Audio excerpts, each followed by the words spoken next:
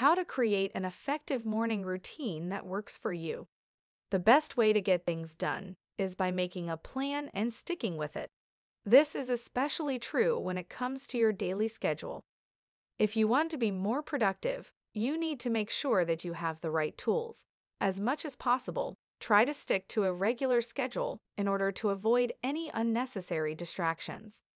The most important thing about creating a good morning routine is to keep it simple. It's not necessary to go overboard on this. In fact, it might even be better if you start with something fundamental and work your way up from there.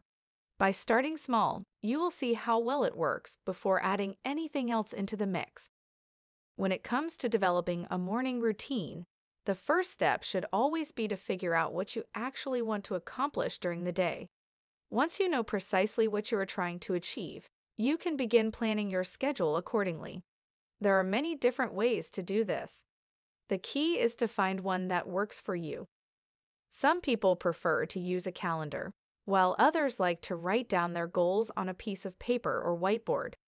Whatever method you choose, make sure that you stay consistent. Once you have figured out what you want to accomplish, you will need to decide where to focus your attention throughout the day. How do you spend your time? Do you sit around all day waiting for inspiration to strike?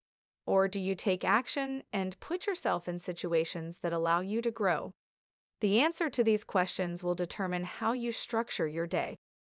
Once you have decided where you want to focus, you will need to set aside some time each day to complete your tasks.